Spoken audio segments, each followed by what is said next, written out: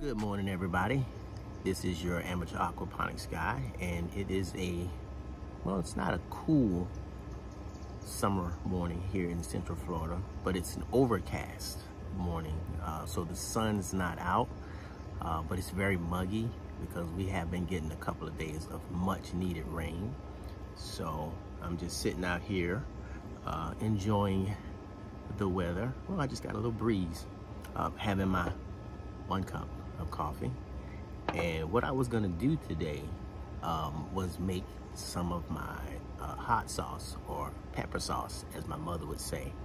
I'm gonna take some of the red peppers from the grow bed in my aquaponic system over there, along with the herbs that I have, thanks to my aquaponic water um, that I use and I'm gonna make uh, my hot sauce.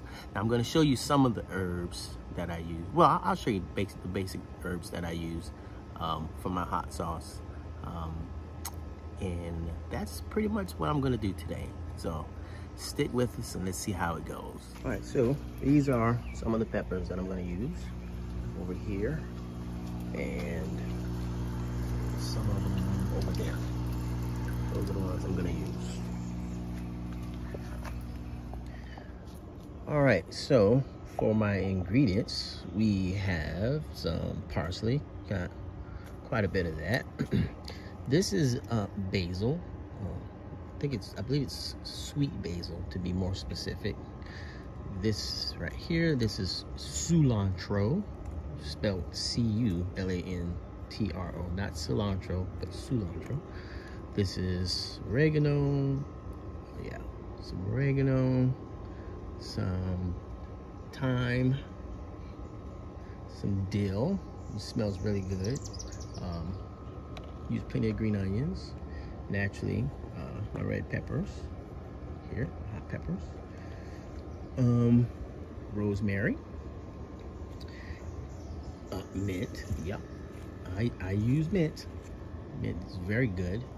Um, and these are ginger leaves. We chop ginger leaves and put ginger leaves in the hot sauce as well. Um, also use uh, turmeric. Don't have any right here on the table but I do use turmeric as well.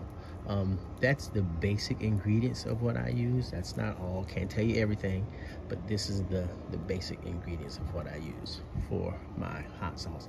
And the reason why I use so many herbs is because I don't want it to, to just be hot I actually want it to taste good at the same time. So um, that's why I use so many herbs. And besides, these herbs are really good for you. So that's what we're gonna do. Okay, ladies and gentlemen, we are back and we made some of our hot sauce. And my mother would correct me and say, no, son, it's pepper sauce. And let me show you. There it is right there. Yeah, made two bottles. And yes, it's green because, like I said, I use a lot of herbs. And I actually showed you guys um, most of what I was using. Uh, didn't show you everything, but I showed you most of what I was using. So, and this is gonna last quite a while. Um, I take one to work. Uh, my colleagues and I, we enjoy my hot sauce during lunch at work and um, friends and family. I always like to hook up friends and family as well. So, thank you for watching the Amateur Aquaponics guy. Yes, this is my aquaponic hot sauce because all of the plants that I use, um, I use my aquaponic water.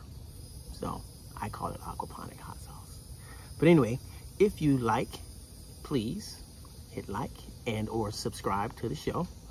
And once again, you've been watching the Amateur Aquaponics Guy, and we'll see you next time. Take care, everybody.